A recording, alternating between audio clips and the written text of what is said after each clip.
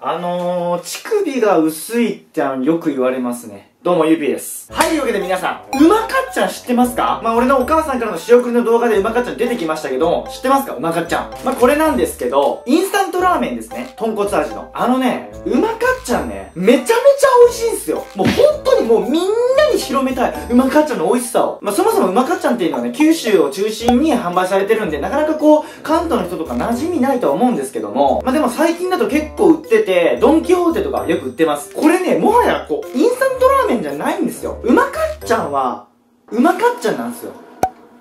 いや、だってね、九州の学生で夜食にうまかっちゃん食べたことある確率98%ですからね。本当に。伝わりました？うまかっちゃんのこの、熱意。まあ普通にね、茹でてこうラーメンで食べるのもいいんですけど、うまかっちゃんをアレンジをするというのが流行ってるみたいです。でね、俺ちょっとまだ試したことないんでね、今日やってみたいと思います。で、いろんなアレンジパターンがあるみたいなんだけど、今日やるのは焼きラーメンでございます。まあ、博多だと屋台でね、その焼きラーメンっていうのでメニューで出してたりするんですよ、豚骨味で。非常にそれが美味しい。で、その焼きラーメンっていうのをね、これうまかっちゃんで作れるみたいなんで、ちょっとやってみたいと思います。はい、ということでやっていきましょう。具材としては、キャベツ、そして長ネギ、あとは豚肉。これでいきたいと思います。じゃあ、それぞれね、切っていくよ。適当にざく切りにしていきます。次はネギちゃん長ネギってさめっちゃ美味しいよねで緑色の方は小口切りでよしじゃあ具材を炒めていこうまずはごま油を敷きますそしたら具材を炒めていきますネギは白のとこだけ。豚肉も入れちゃおう。あいい匂いだね。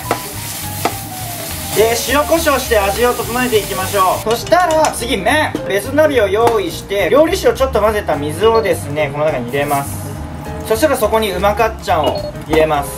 で粉末スープも同時に入れちゃいましょう。こうですね。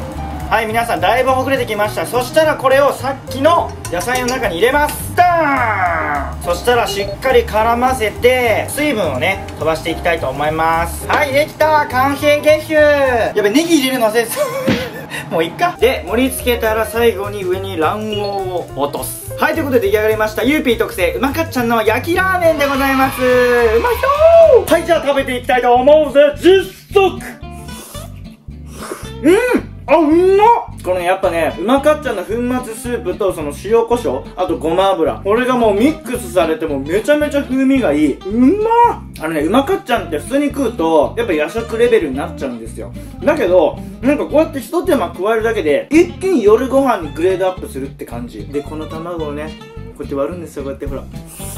うん。あまた味がマイルドになってこの豚骨味とすごくね合ってて美味しい。というわけで、えー、今日はうまかつのアレンジやってみましたけれどもいかがだったでしょうか？皆さんもぜひやってみてください。うまかつちゃんはねドンキホーテとかに売ってるんで買ってみてください。ということでゆうびでした。